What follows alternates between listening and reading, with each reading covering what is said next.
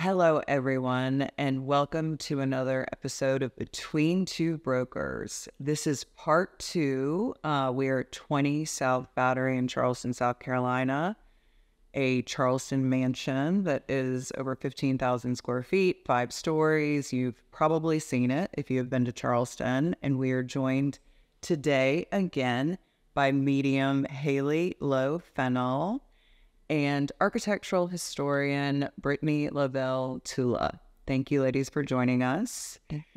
So let's get on some different topics. Um, I am curious, Hailey. So I actually stayed here probably 10 years ago, and I knew that it was, th- so this is a historic inn.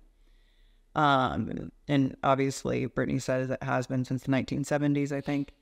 So I knew all of the lore of ghost stories, and that's what made me choose to stay here because I wanted to um, see a ghost. You chose? Oh yeah, Oh, what? I like to have new experiences. Um, and I came and stayed here, and I was terrified. Like I, I, you know, um, It's hard not to be.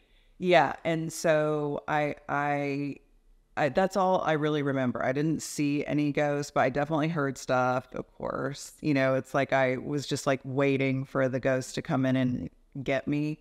Um, so you were talking about energy, and and um, another thing I was talking to my boyfriend last night about when I went to visit a con- concentration camp in Germany when I was young, and the second that we got off of the bus, you know, this feeling of death. I mean, I had never experienced it before. Not hadn't seen anything, I hadn't seen any exhibits or anything like that, but just the darkness and depth of death was constant the entire time that we were here. So I want you to just kind of talk about energy and you talk about some people can turn it on and off. Can you see a ghost? Have you seen a ghost? Go. Yeah, I love that. It's um, definitely spaces and places hold energy. So there's also a house that's kind of near here. It's on Broad Street that um, I have a friend that lives in the carriage house, and she occasionally will hear a hoof print out on the back porch. Um, kind of like a horse just kind of nodding, but putting its hoof on the porch. Um, and clearly there's no horses back there now. But yeah, by all means, the houses, places, um, especially places where there was a lot of death, um, that will hold a lot of that emotion still. We're also going into those places. Like, I love that you came here with the intent to see a ghost. and so, when we do something like that, or when we visit historical places, historic places, uh, we're going in with kind of the stories that are already in our heads. We're already a little bit open to perceiving anything that's on the other side. And that usually just starts with energy. So, just like a feeling that's inside if we can kind of move past that feeling or um, and the only way to move past it is to acknowledge it. Like okay i feel a lot of in and this place is very impactful that um, a lot of things happened here. We can kind of then go ask the next question if we want. So we can either shut it down or go ahead and ask the next question which would be okay is there anybody here that wants to tell me something that wants to connect in with me? Is there anything that i can learn from this place and we'll tend to get those answers in our head. So it's not so much seeing ghosts right there and then at that time, but it's more kind of listening to what's going on internally to get those messages. So when I sit down for one on one reading, I don't see anyone. It's not like a physical manifestation that happens out of nowhere. It's my imagination that I let take course and I just trusted enough to give the messages kind of through my imagination to my sitter, which is what I would call the person that I'm reading for. Whenever I've seen a ghost, has always been at night. Uh, occasionally out of like my peripheral vision in a doorway or something like that. Um, but our senses tend to be a little bit like our human senses kind of tend to be a little bit dampened at night. Therefore, like our sort of otherworldly senses start to open up. One, because we're tired. Two, because of everything that we've been taught since growing up. That's when ghosts come visit. it's nighttime. Um, and it just gets quieter. So we're not talking to anyone. When I lay down in bed is kind of when I get the most information. That's when I did the intention to get information about this house. I just kept a notebook nearby and wrote down little notes about the house. Um, I know I probably went off on a tangent there a little bit. No, but help not at all. I have a little question Okay. for you. So when we do these house histories, obviously everyone died in their homes prior to, you know, the early 20th century where people were coming to hospitals and whatnot. I mean, the guy who built this house, Samuel Stevens, he dies in this house only a few years later, and he dies of constipation. Which sounds not nice. Yeah. We also know his sister, or sister or his mother, dies of old age in the house. We know that Sarah Simons, her husband, dies of a botched surgery, and, and he's also a doctor inside the house. And so, but people are also being born here. So how? I mean, if you have a homeowner, or when I talk to homeowners, they anyone die in this house? I mean, the answer is always yes. You know, if it's of a certain age, how does that energy fit in? I mean, are there different levels of whether it's a traumatic death or just It's all death, or Yeah, that's a great question. I, honestly, it's all the same. We we get more fearful about a dramatic death, and we tend to hang on to those stories a little bit closer. Therefore, those are the ghosts that come a little bit closer because we've let our awareness reach out to them. Mm-hmm. So we're like, "Ooh, like I want to see if anything's in this room." Um, these are the stories that I know. Those typically tend to be the ghosts that come closer. I open up my door quite wide and I'm like, okay, well, who else is there? Like sometimes I'll get that first ghost that maybe I know the most about. And then I'll think, all right, well, who's behind you? Um, who else is prominent to this house or this person that I'm sitting with? Who else wants to come forward and kind of give a message or say a little something? That's a choice that I make. Nobody has to do that. Uh, but that's one way that you can perceive a little bit more than just the first stories that are kind of coming forward. But yeah, by all means, like not even people that have died here are here. So anyone that has, uh, I think you mentioned that someone Richard passed away in New York. He can, he's still here though, right? And so they don't necessarily, they're no longer confined by time or space, so they can be anywhere and everywhere and with anyone at all times. Yeah. Well, I, I I don't know if you want to get into this now, but there was there's one story that I mean, yes, there's the carriage house and the um the I don't know if you heard this of the Civil War soldier. I mean, there's a lot of Richard Lathers comes up, but there's one story of a young man in his early 20s who dies here in in the 20th century of a horrible suicide. Um, and he, what we know today, it was probably schizophrenia, but back then they hadn't diagnosed it very well. And um, he had, I think, a traumatic. We knew this because Dr. Schaefer has this boatload of letters of the Pringle family, of what's happening with Nell McCall, uh, Pringle, and trying to save the house, and what happens to the family after her death. And Ernie Pringle, um, he jumps from the staircase. Now, a lot of records say he jumps out of a window, but we know that his older sister, Duncan, you know they call her Dunk, she becomes one of the actually the first female uh, pediatricians in Charleston. Pediatricians or doctor? I'll have to fact check that in my report. But she she says she they were playing cards downstairs and he had his he had over the years after his mother died so definitely a traumatic that had triggered maybe this kind of rekindling of status mental status and he had outbreaks but he was doing well at this point. and they were playing cards and they went up to bed and all of a sudden she heard what sounded like a chest of drawers hitting the bottom floor of the foyer and it was her brother he died of a fractured skull hmm. from jumping I think it was like almost a year after his mother's death. And so I don't know if he ever comes up. I don't know if that is the, all the energy I've heard is, has been in the back of the outbuilding. But for me, when I think about haunted house and ghost stories, this traumatic Harvard graduate who could never please his father, who loved his mother, had these outbreaks, and his mother dies, and he jumps. Yeah, that feels more like when I first walked in the house, more this house, right? That's what you're saying, like not that uh, rooms out back. It'd be this house. And that is how some of the women that you're talking about. Yeah, it's like walking the door and I can kind of pick up on like three, the three women spirits and then like one or two males in this house. Um, he like that just when you're telling the story, he just like kind of rises up to this room and is here with us. Um, sometimes maybe it's not the people, the people that are coming to visit. Uh, maybe they're not really connecting in with him. First of all, because they're staying out in the carriage house and they're not here, and so their perception is, well, I wouldn't necessarily connect in with him. If anyone wanted to, they can open up their perception enough to receive him, just like I could at my own house. Does that make sense? Mm-hmm. Um, but by all means, he's still here. There's also kind of a difference between who we are here in this life and then who we become once we pass away. When we pass away and we're trying to connect in with people that are still here, we'll start to give them the information that they already know about. So we'll give them the information about like their passing or the playing playing cards or um, anything that really feels relevant to them at the time and like the feelings that they would have had.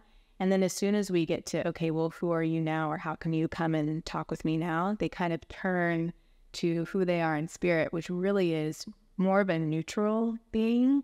Um, I don't like to describe it as like negative or overly positive. It's just more neutral. They, by all means, kind of miss the human life that they had because there's nothing like um, suffering. Yeah, yeah.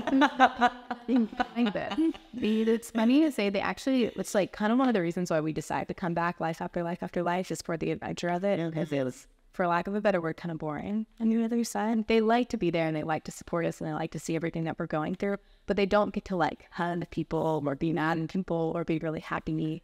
Um, that's him. Oh, that's really cool. Yeah, so he he feels like he's here, and he feels very. Um, this is a funny word for it, but he just gives me the word satiated on the other side. Like he feels good and calm, and like would be clear of mind now. They also can see the effect that they had in the life, uh, the light that they had, and the effect that they had on the people in their lives. Um, so there's a little bit of sorrow for that, but then also like the sense of, and now I get to kind of move on and do the next things, um, both in spirit and would be into his next life too. So he, or can we imply that he's like chosen not to come back into this life because it's like really for him kind of a relief to be on the other side? Okay, so it's going to get like a little bit wild here for a second. So we can kind of, our souls can kind of share space. So there's even a part of us where our soul was also on the other side and we're just kind of living this little part of like uh, physically here right now. So it's quite possible that there's a part of him that is living another life while his soul from this life is still kind of holding on to the other side as well.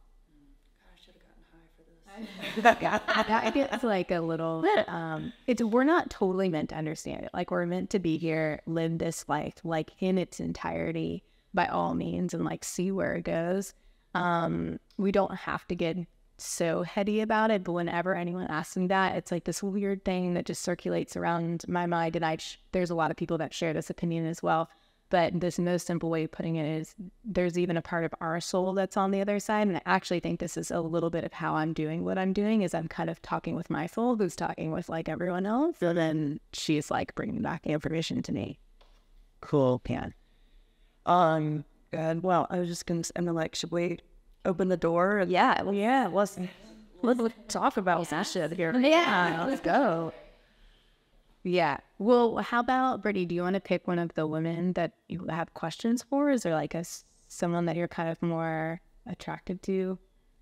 Well, I mean, as an architectural historian and as a historic preservationist who's always trying to get people excited about old buildings, favorite. Yes, I, I know. I I it res- Nell's story resonates with me a lot because she was she they she even wanted to take the furnishings out of this house and put it in the Joseph Manigault house. She wanted to start living in the Joseph Manigault house so that people may maybe they'd visit if there's a real hostess at the door. You know, she was just trying to get people excited about an old building, and I feel like I try and do that every day of my life. And so her, t- you know, having that exhaustion take her life, and then I, you know, her baby died a year later. Yeah. You know, I, I I don't know. I would love to connect with her if that's something that you're capable. You know, I think it's perfect because she had brought up before I came here the two the two child spirits. I would be here with one of them, I believe, just to meet the young man and then like a baby child. Okay, that's perfect. I think she's already kind of like trying to make that connection. You said her name is Nell. Nell. Nell. Okay, I'm just gonna close my eyes for a little bit. Actually, if you guys want to close your eyes too, and just start taking some deep breaths. And it is wild as it sounds, just imagine a bridge between you and the house, just any part of the house. I'm kind of imagining it between me and the windows behind me. And then just take a few more deep breaths and imagine that bridge getting shorter and shorter, and you and the energy of the house are becoming closer. And then just knowing that the intention is to connect in with Nell.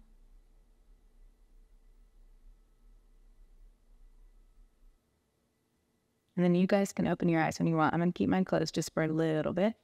And she's coming in a little bit closer. Okay. This is lovely. She comes in right behind me. Usually, when I get a guide, uh, when someone comes in right behind me, they usually mean like guide to. And it's funny that we're connecting it with the house. So it kind of means like guide to house. Like she would kind of still be here um, helping people navigate the house, like show people around. Very um, hostess like, very warm, very welcoming. Just close my eyes for a little bit.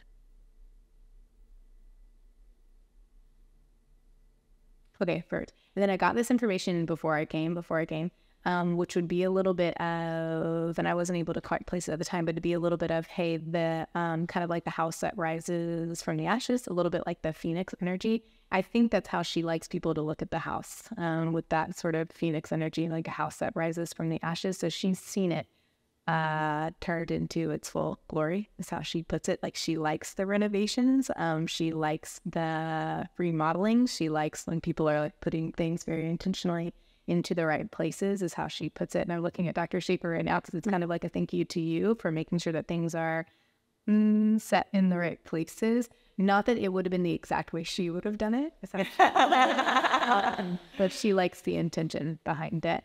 She likes a lot of the colors going on. I'm gonna see what's going on there. Okay, hold on. She, um, I mean, okay. She brings in her baby a little bit, just letting us know, like, hey, look who I'm with. Like, baby's here with me. All good.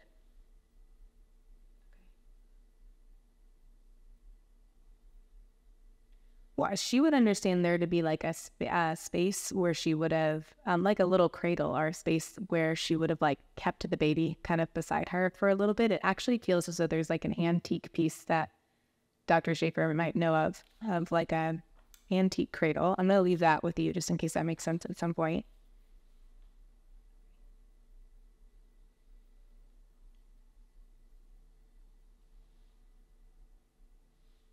Okay, and when I talk about the woman who's kind of like, uh, um, she goes, there's other women that were more involved in the community than she was that would have lived here, is how she puts it. But she also wants to be recognized as one of them.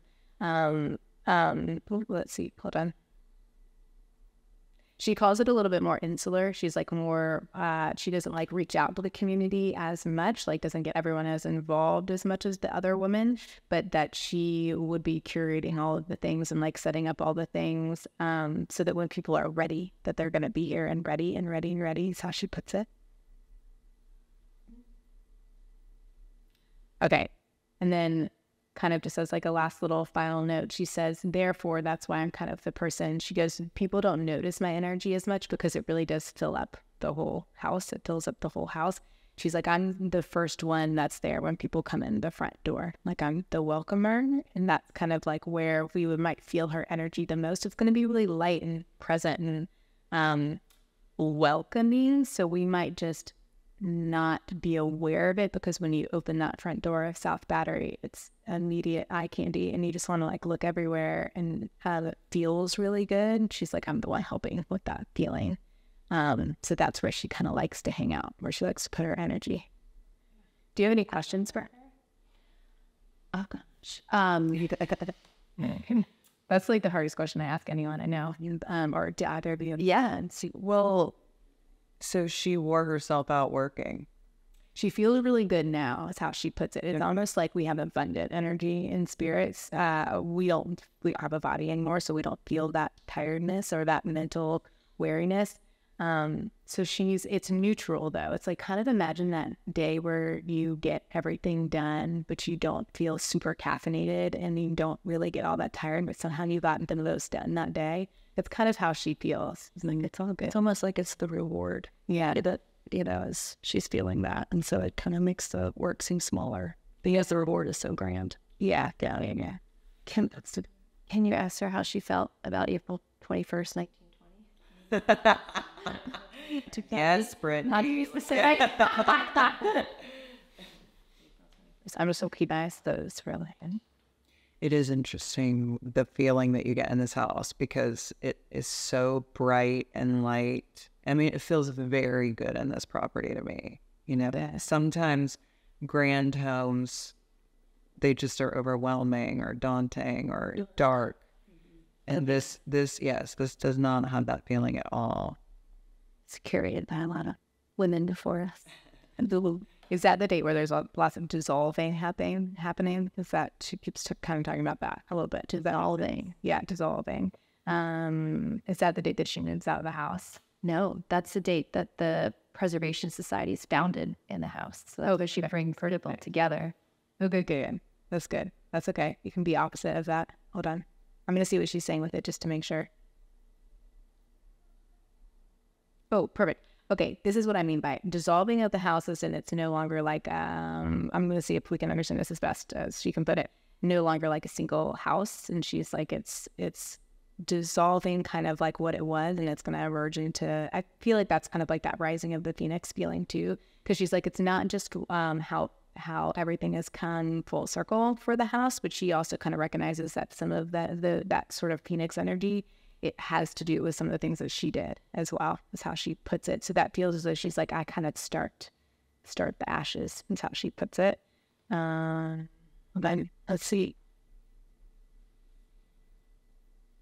then she just loves how far it's reached. That's how she puts it. She like kind of points behind me, which is where I kind of connected in with her, and she just kind of like points to all of the battery, how far it's reached, and like into Charleston. And I believe that's what she's talking about preservation stuff like that. Okay, but then you help me out with this part. So did I hear you right? So does she help start that, or is there somebody else that helps start that? It's her and Susan Pringle Frost. Okay, I know that you said that in the previous episode but my historian mind isn't quite there. Hmm. There, it's kind of sweet. She's glad that she gets to take uh, some recognition with that now. She's like, I, she does enjoy being recognized in that way. Um, she sees how she's recognized in it in the in the ways that not just this house, but the ways in which even new builds would try to replicate some of that Charleston style, is how she puts it. So she's even kind of watching over some of those decisions and helping people make decisions if someone's doing a new build and wants to make it look a little bit more like what it would have looked like. She kind of pops in as people's guides in those moments, like make this decision, not that decision. Okay, hold on. But yeah, yeah, she's she's proud of that date is what it feels like. It feels good. It feels for whatever reason she does keep giving me the word dissolving, but it's like a it feels good, kind of like when you're letting everything go and therefore the new can come in. Yeah. Well, um good. Were you gonna ask? Yeah, well, I was gonna ask. So we um had the the story of the suicide um in the tallest staircase in Charleston, but I want to talk about some of the features of this home that make it very unique. Um, so Dr. Schaefer has restored as best he could to period pieces, which is very unique. Etchings behind us, books in the library, all that stuff, the tile floor, the staircase. But what what what do you want to add? No, I think it's now it's that collective, the collective energy and the collective ambiance that you know the current homeowner has has curated. I mean, he tirelessly restored the Italian mosaic tile downstairs. They revealed the gilded detailing on on the first floor, second floor if you're counting the basement or the ground floor, um, and then he's taken what the descriptions of what people had when they visited the house from the late 19th century on and he's tried to curate that same ambiance. So like the rare books the etchings the the furniture we have a lot of documentation of what this space looked like and i think that's like the best when you have a homeowner that wants to actually use that to then kind of put the energy back in this house and maybe you agree is that i think when people work with the energy and with the grain of the structure the house comes alive in a, in a way we never even imagined. And that, that could mean spirited, or that could just mean the well, how you feel when you're in the house is that you're going with it as opposed to against it. And you look at the staircase and it has that scroll newel post from the mid 19th century, but then you have this great mansard with these incredible uh, double views of the 1870s and um, the ballrooms. Everything has had its its kind of you know even the 1920s of of then they actually met in the drawing rooms, which was crazy in, in the in the front of the room, not the ballroom for the Preservation Society. And we have a description of the little girls, Nell McCall's little girls, and the types of dresses they wore and how they stood in the corner and was just listening to the women and how they ate mocha cakes and how their grandmother was in the corner of the room on a rocking chair just listening, who I think Nell McCall um, Pringle was either her mother or her husband's mother was another woman that kind of went like a Sarah Simons under the radar, but was this generation of widows that kind of like brought in this cultural resurgence of the early 20th century. And so we know who was standing on the fireplace. We know what the fireplace looked like. And using those descriptions and then having ha- walking into the structure and kind of experiencing it in the same way has been such a treat in this kind of um, last campaign of ownership that we're under now. So You mentioned a bunch of letters that were left behind. Mm-hmm. Um, can you talk about that? Sure. So this is like That were left intentional. a lot. I one of the best parts of my job is getting the phone call and either someone saying we found something or I got something for you. And Dr. Schaefer called and said, you know, we do we have this shoebox of letters in um, a closet, and I was like, that's like perfect. When you can get primary resources and you can get kind of like people's own words, that's the best in kind of unraveling a house history. And so it wasn't just one shoebox. It was, I think there were three or four. And it was all the Pringle family. So it was Ernest Pringle and Nell McCall Pringle and their children.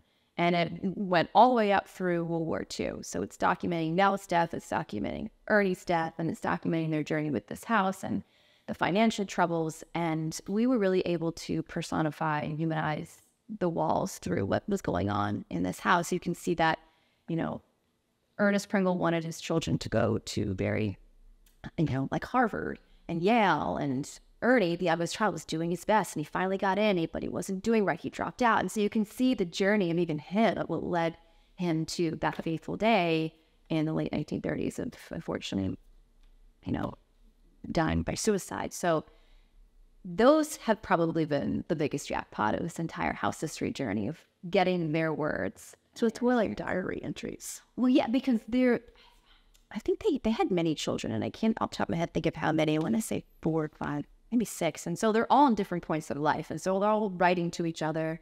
Um, you have their oldest son actually going, I think he was into the Navy. You have Dunk, who is Duncan Pringle. She's getting her uh, medical degree, which is as, as a woman in the early 20th century. You have the two other daughters marrying and moving away and then coming back. And so it, it's their family communicating. And a lot of it is from their father.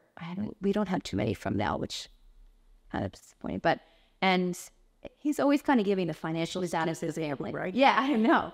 She's like, I'm about to Joseph Manigault out. I know what I got to do. But it always starts off like the financial status of the family. Like, all right, here's where we're at, you know. And then he gets into very um sometimes Bible verse. So you could just tell what what what is special to that. How does he communicate his financial status? He's just telling his children, like, I have this bonds in this bank. Well, we're doing good on those dividends. Like, and I don't even know if the, the children, maybe they are understanding that. I'm not sure. But this is also a time where, again, they're taking out a mortgage on this house that they can they can save the Manigault house. Um, they're they're literally giving everything in the name of preservation, and they don't have much. You, uh, you have to remember, you know, in early 20th century, even after the Civil War, Charleston really didn't regain its wealth. The Charlestonians didn't regain their wealth until what we call kind of that uh, Charleston Renaissance period, or even World War II, when people are starting to come in and rent these buildings that are Navy sailors, and they're starting to get a little bit more of their of their money back. These these houses were not as pristine as they are today, and so this big old house, a lot of upkeep. You knew. When was, and I we may have talked about this on the last podcast, but when was Charleston He took a nap. it's in its prime? Because it was once the wealthiest city or in fourth wealthiest. So, uh, or excuse me, fourth largest city. But yes, probably was at one point from the mid 18th century till I would say about the 1840s ish. So we have about um, 17 a century, I would say, from about 1740s till about 1840s was really Charleston's heyday when Charleston is on the map as one of the wealthiest, if not the wealthiest, colony or or city in in the United States. Um, we you have their cultural leaders. They are setting the tone for science, architecture, fashion, music. Now, again, we always have to remember that their wealth is is coming from um, the institution of slavery. So it's it's it's a very layered and complicated century. But that is when they're in their prime. And that is when you are seeing buildings like this Right. being erected. So it's almost like this house is almost almost like the late last generation of, of true wealth because as we get into the mid 19th century, you start to see northern industrialism kind of begin to come into play. You start to get a lot of tension with the North and the South beginning to build on how the South is still maintaining their economy. People are maybe investments aren't coming in as as much and as through and and the agricultural systems of the low country in the South start to decline. The largest homes in Charleston, which are surrounding us basically, Mhm. here on the Battery, Meeting Street, um, East Bay Street, what period does that span in terms of the ones that are like, I'm saying over 10,000 square feet? Okay, so you Mega mansions. on now South Battery is a little bit you have a couple different eras here on South Battery. You have everything from the late 18th century up until the 1850s. On East Battery though, that is in that kind of 1830s 40s time period most of them. And that is where I mean the it's the wealth is just oozing. And again, it's almost like it could be that last generation of grand mansions. And then, of course, as we hit the late 20th century, you're getting northern investors coming in after the Civil War, like Lathers, and he's making this house even bigger. And so many of the houses you may see that maybe bigger than those along the battery. That could be well from other places Right. coming in. Right. Okay, so Dr. Schaefer was telling us that there have been many sightings of someone in a Confederate uniform. Let's So I think- from what I understand, he hangs out in room eight. So there's people that have come and stayed in the carriage house out back. Um, Marilyn, let's look at this weekend. like with different perspective. Maybe he'll like come and roll these eight. Um, but yeah, I think a few people have seen him in room eight, and my understanding is that they'll only see his torso. So he tends to be headless and legless, and it's just his torso. And then um, coming in with that Confederate uniform, uh, I think it's usually gray and kind of felty and those sort of textures to it. So I know that there's been a few people that have seen and heard him. And then there's another ghost in room 10 who everyone calls the gentleman ghost. And I think that um, Dr. Schaefer's intuition tells him, and I it feels right to me too, that it's um, Richard. Why would he be out there? I don't know. I mean, Like this was where this was in jam, you know, yeah. in the May house. I think rumor has it that he really likes women. So Oh my God. Okay. I did not want to like smudge this man's name, but I'm like, please to sleep with the slaves back then, you know? Well, That's right. We have to cut that out. Okay. Lizzie. sorry. That's bad. um, uh, who knows why he would be? Yeah, that made me. And that's but by the time he's occupying this house, that outbuilding may not have been inhabited by anybody. I mean, it'd be inhabited by his servants that he's bringing from other places. So this is after the Civil War. I, but I don't know. I don't know what be. I would think that a man of his stature and his class, he wouldn't dare step a foot back there where his servants are. And remember that Charleston's side yards and now these beautiful gardens, they were work yards. You know, now there were some formal gardens within certain areas of the, you know, of, of, of the yards, even in the 18th century or 19th century, but for the most part, they were all working yards with stables and horses. So it's maybe he liked. Yeah. Or it could be the newness of it too. Like like they're not necessarily in the same time frame, right? So they see, hear, and know everything that's currently going on. And so it could just be like, well, what's this extension ah going on out here? And uh curious about that and then visiting the people for whatever reason in room ten. Yeah. So can we talk to? Yeah, let's let's Either listen. Let's Maybe yeah. Yeah. Um, let's see. Just gonna close my eyes for a little bit. Do you guys have a preference? That's what Brendan choose. Yeah. No, I want to know what this this soldier's doing back there. I mean, because the energy, Charleston was booming with, you know, Union and Confederate soldiers at certain times. Okay, and why he comes with just his torso? Yeah, that would be. I would like to know that. Interesting thing. Okay, I'm just gonna kind of settle in. I might just be quiet just for a second. And okay, it's a little bit funny. There's a little bit of something of like, well, the torso, I, this is from him. The torso idea is kind of perpetuated because there would have been somebody that would have like seen the, like just perceived the torso for whatever reason. And then he's like, let's go with that kind of thing. Um, he's got a sense of humor. Yeah, yeah. That's my my dad in as well. Yeah, a little bit funny. Not that he enjoys scaring people, but there's a little bit of well, whoever kind of books this room and has heard these stories before, kind of, kind of is there for the scares sort of thing. So he's like, I can be an entertainer if you want me to be. Um, I can understand him. He kind of shows me his his full self. It's because my imagination is doing. it. I'm asking him to come in in a different way so that I can better communicate with him. It's kind of hard to talk to a stomach. Um, I'm just asking him to kind of come in. It also feels as though there would have been something with the war. Uh, he's actually telling a part of this story with that too. It's like there would have been something with the war where, um, quite possibly he that's like how he would have passed, and that's like kind of other his extremities would have been quite injured. Um, so his burial kind of would have been centered on his torso, if that makes sense.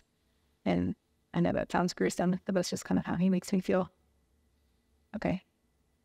Mm. He feels quite young. He just gives me like the number 18, like he would have been quite young when he passes. I'm kind of asking like why he would be around this house and this house. Mm. It just feels close to where the action was, which I know where we are in the battery. Brittany, you can probably talk more about that than I can. Um, but this would have been in a war zone or in a. Does that make sense? Um, it would have probably been centered a little bit. Well, yeah, it could have been. Charleston was bombarded for over 500 days. So Union, the Union was out in the harbor, and they for 500 days between 1863 and 1865, they just every day, boom, boom, boom, they threw shells into the city. It was mostly centered in the wharf dock where, you know, Charleston's economy was centered. And a lot of the dwellings along the East Battery, the richest cotton merchants really in the city. So, um, but we do have cannonballs lodged in all sorts of houses around here. Okay. And then would I feels as though this is like a place of retreat or like a um that's just kind of what he's giving me. He's kind of shows me this pattern that he would have done to kind of get back into this house.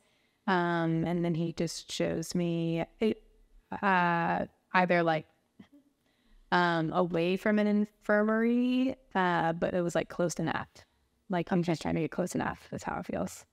Um and it feels as though for whatever reason this is where he would have been taken care of actually like wounds would have been dressed here that's how he put it yeah um We know the house was vacant. We think the house was vacant oh, during the Civil War. Yeah. That's okay.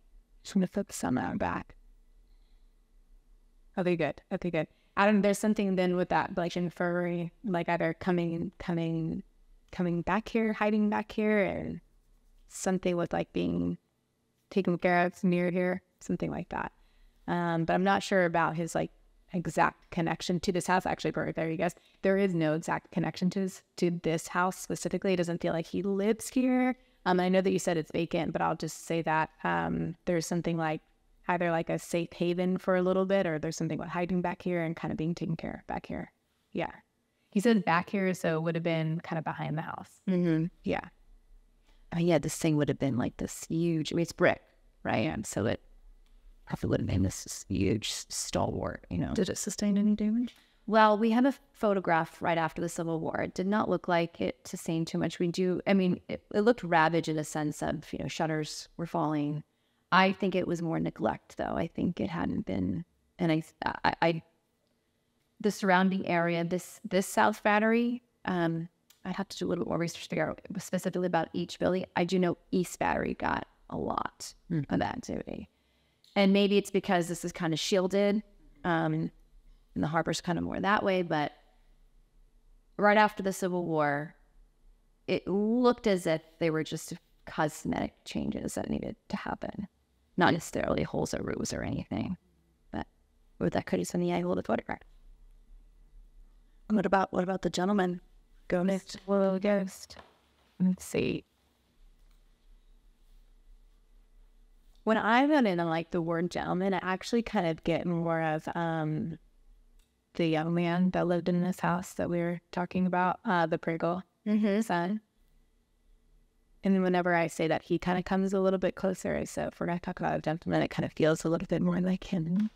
I'm going to focus in on the guy that tends to visit rooms in the back. Then he feels like calm and good. I mean, I know that that's how he is on the other side as well, like calm and good. Just so everyone knows, like I'm calm and good. Um, and curious is just how it feels. Like I'm gonna go back there. I'm just kind of being curious, curious, curious. Okay, hold on.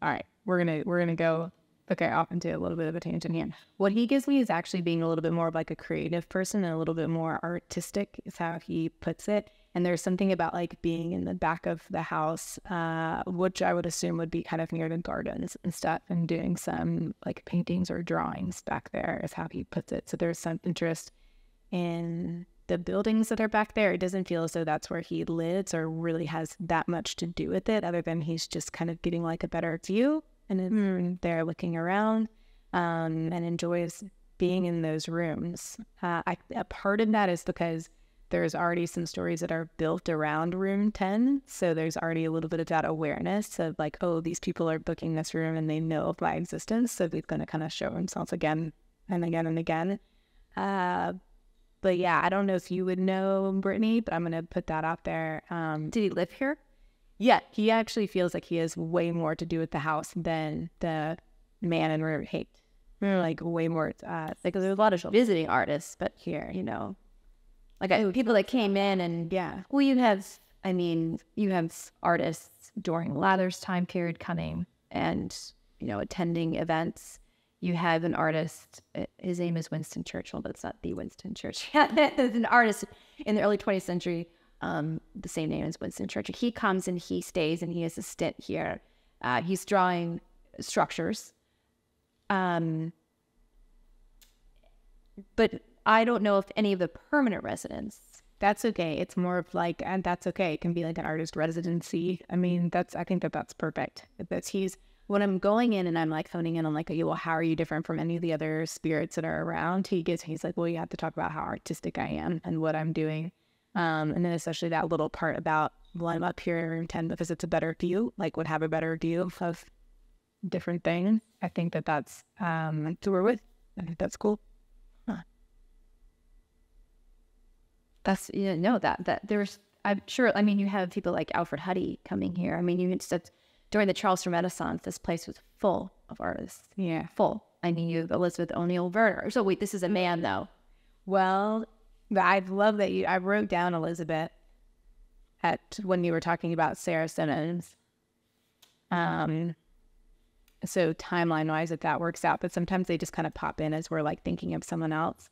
I know Elizabeth is a really common name, but uh, there's an Elizabeth in in the house around the house for sure. Um, but sometimes if there's multiple artists and there's multiple people that would have had something to do with the house, and we start talking about the Renaissance, and you're telling us that there's so many people that would have lived here, they're like, okay, cool, me too. Yeah, me too. Um, all wanting, not needing, but just recognizing themselves a little bit that they would have had some resonance with the house as well. Huh. Okay, sorry. Seems like there's going to be a part two. They right that that plan. So seriously, it's when you were talking about him out there. I was like, sounds like a Renaissance man, um, you know. And but I didn't even know what the timeline was. But well, Sarah Simmons would have been before she dies in the 19 teens, and um, so the Charleston Renaissance really kicks off after her death into the 1920s, 30s, and then World War II. And that's where you're starting to get artists from all over the country coming down here and and using Charleston as inspiration. And then you have a lot of Charleston born artists that are getting national attention. And those are the types of I mean, the Gibbs Museum of Art always has exceptional exhibits on on these individuals. And that is um, Alice Ravenel, Huger. Smith, Alfred Hutty, um, Elizabeth O'Neill Verner. And those are the same people that are in this house on April 21st, 1920, in the creation of the Preservation Society Charleston. So they're heavily you know, late to this house, but they're all their their artistry is so different. One's etchings, one's watercolors, you know, one's oils. So it, yeah, yeah. I think the the one maybe at a ring ten would maybe have a little bit of something to do. Like if you can imagine kind of being up in that corner and and having the view of like the angle of the house, but then also the view of the balcony, like out to the gardens, but kind of like right tucked in that corner. Um like it's at Carriage House wasn't there, you can almost like put a ladder up there and get like a aerial view of the gardens. Um it kind of feels as though somebody would be more like sketching that, uh, paint, painting that, sketching that, painting that, a little bit more of that form of artwork than the other one. So that helps narrow it down at any point.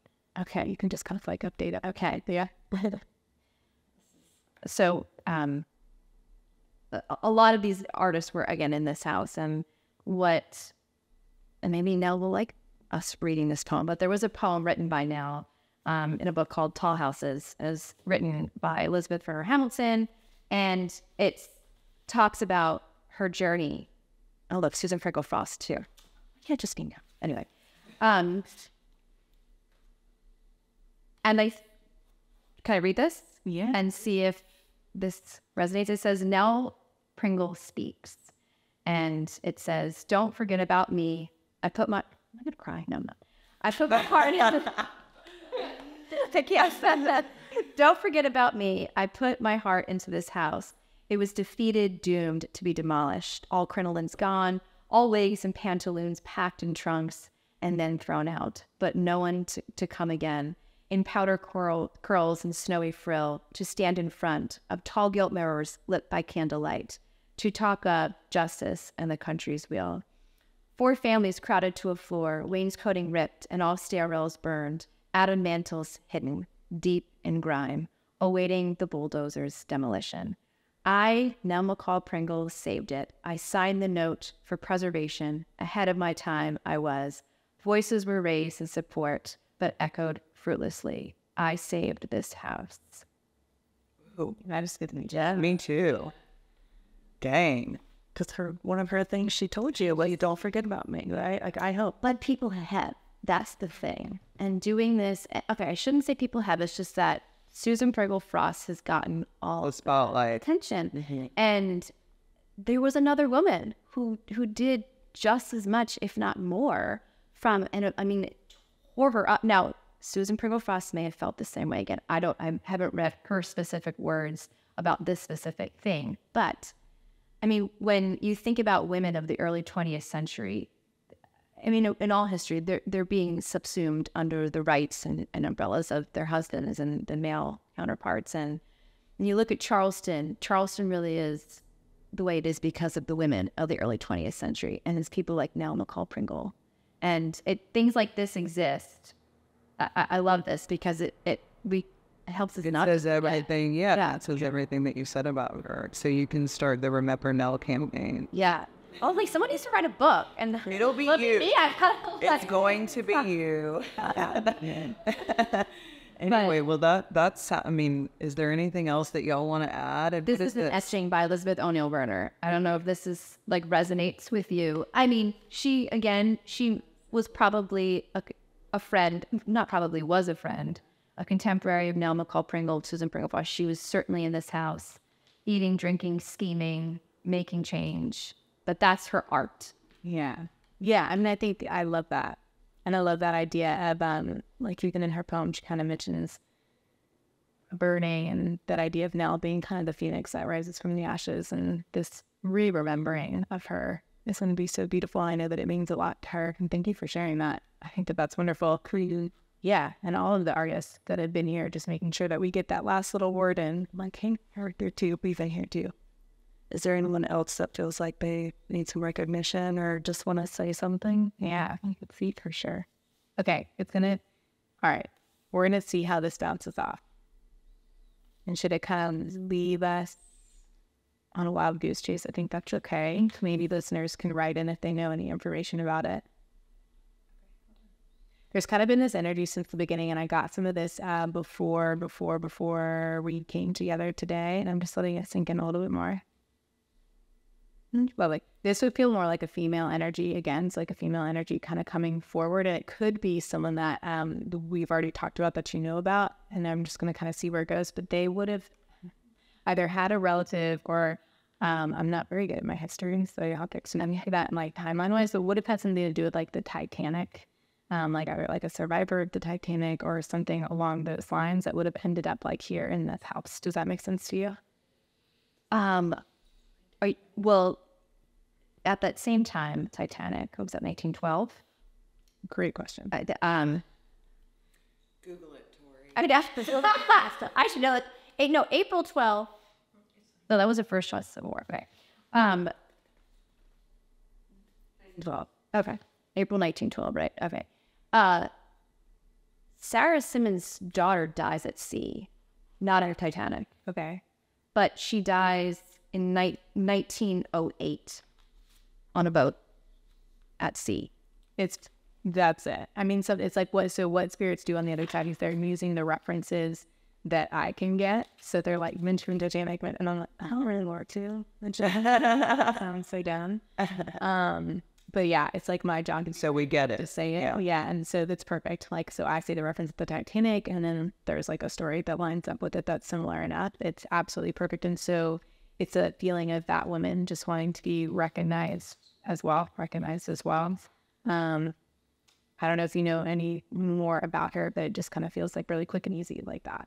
Well, sh- we know that Sarah Simmons, um, like, uh, we know she customs a Tiffany glass window at St. Michael's Church for her. So you can go and actually, you can see it's when you first walk in, it's on the left, and there's a beautiful Tiffany glass window of a, I think it's either of Easter. Hold on, I'll get it. Oh, here it is. It's of, um, excuse me, sorry, let me just get this. No, and we can see the steeple from here. Yes. Okay. So she dies at sea, and so her mother, Sarah Simmons, designs a Tiffany glass window. She Sarah Simmons is a widow at this time, and it's depicting Easter Sunday um, because she does die in April, and the newspaper begins to kind of chronicleize Sarah because she's such a big uh, person and influential. And a couple years later, the newspapers say that Sarah Simmons has reemerged in society as she withdrew years following after her daughter's death at sea. So we know that she kind of comes in close to her house, does not leave, and then reemerges um, as a force. But that Tiffany glass window does survive, commemorating her daughter's death at sea. Wow, beautiful. Yeah. A Titanic. Cool. no, that's okay. I think that honestly I think that that's the reference. And there's also like a little tidbit about uh, the 20 house bathtub. I think they bel- they're trying to say like the 20 is in the address here and then the house bathtub. And there being something either like with the renovations, um, maybe Dr. Schaefer would know more about that. Um, but something funny about the 20 house bathtub. And yeah, so maybe that one might remain like a little bit of a mystery. I'm not sure if I'm going to get anything. Well, there was a dating house across from the White White Card stuff. Still, That was in the mid 19th century. They they were adding a bathhouse right across, but that that was for um, people at White Point Gardens too. So Okay. But, I mean, 20 house that 20 house bathtub. Maybe. Maybe a bathtub, a house with 20 bathrooms. Um, yeah, there might just be something to that. It's kind of like uh, trickling on the tip of my mind, but I don't think it's going to sink in without like the right thing to bounce it off on. But maybe that'll be something fun for the listeners to kind of chime in on. Yeah. Well, anything else you ladies would like to add? no, I, I just say you know next time you walk down White Point Garden, take a look. Take a look at this big guy because it's 20 South Battery, South Battery. a historic inn. You also have the opportunity to stay here. And I want to thank Dr. Schaefer for allowing us to record the podcast in his home. This is his primary residence as well. And thank you, ladies, so much for joining us. If you can just tell everybody where to find you once more. Sure. So you can find me on Instagram where I share all sorts of discoveries and things we found along the way. Um, it's at BV Lavelle Tulla, B as in boy, V as in Victor, and then Lavelle Tulla, which is my last name. and my firm, BVL Historic Preservation Research, where I do this work on house histories and uncovering the stories of old buildings. You can Google that, bvlhpr.com. And you can find me at on Instagram at Hailey Lowe Fennell, two N's, two L's, and that's also my website. And then I also have a podcast called House Guest. You can find it on Apple or anywhere that you like to listen, and it's on Instagram at House Guest underscore in the Holy City. Thank you guys so much. Thank you. Perfect. Thank you guys so much for listening. Don't forget to rate, review, and subscribe, and we will see you next time.